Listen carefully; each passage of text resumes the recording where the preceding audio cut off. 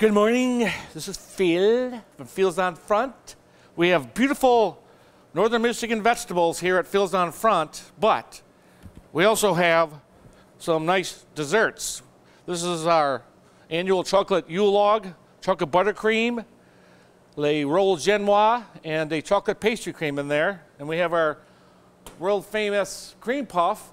Well, actually, right here, this is actually mashed potato just to get the picture right. But uh, anyways, I'm gonna eat that for lunch.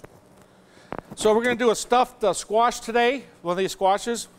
And uh, the whole thing about a squash is, is having a big knife and just know what you're doing.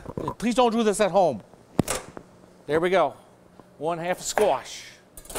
And we scrape the seeds out. And then uh, we put them in a pan like this, a pan of water, and we roast them in the oven for about half an hour. And remember, remember when you cook the squash in the water, use organic water. It's the best. I get it at Oryana. It's uh, pretty pricey, but it's worth the, everything you could possibly imagine. So I took the vegetables and I peeled them, uh, carrots, parsnips, turnips, rutabaga, the squash. This is a roasted vegetable platter.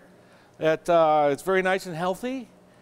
And then we also come up with this uh, squash I cooked. Squash, I roasted it, and it's got roasted vegetables and uh, a little bit of arborio rice, cooked in again organic water. Best stuff around. So this is uh, Phil's on Front. Come down and check it out. Happy holidays, and uh, thank you very much.